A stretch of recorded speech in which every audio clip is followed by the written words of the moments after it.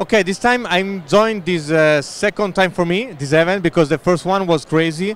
I met a lot of people uh, like only six months ago. Uh, we are in contact in uh, on LinkedIn, for example, and uh, we uh, listen each other on the different digital topics. So it's really interesting meeting people here in the CB commerce world. And so I try to connect other people uh, in this uh, second event. Uh, what, what I'm seeing right now, because uh, uh, it changed a little bit, is that I can meet uh, many people for different industries. But interesting to to share some uh, challenges that we have on digital, on e-commerce, and on channel.